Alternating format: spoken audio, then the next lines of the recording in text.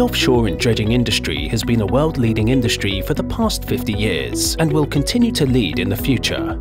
As the worldwide energy demand grows rapidly and the available space on land getting smaller, the need for offshore engineers is higher than ever.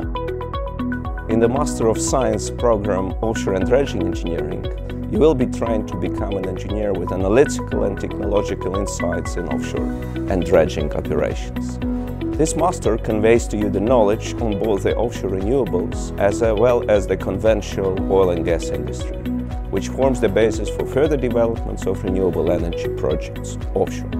If you are interested in the offshore energy sources, as well as the leading developments in dredging engineering, this master is the right choice for you.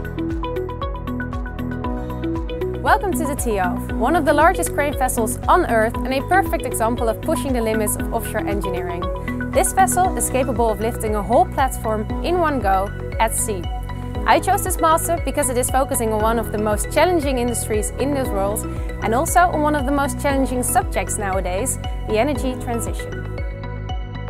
Your total master program consists of a core program, the curriculum of your chosen specialization and your electives. The Core Master program provides you with the insights every offshore engineer ought to have Next, students choose one of the four specializations. Bottom-founded offshore structures, Arctic and wind. Floating offshore structures, structural design and analysis, or dredging engineering, trenching and deep sea mining. Within every specialization, there is room for electives.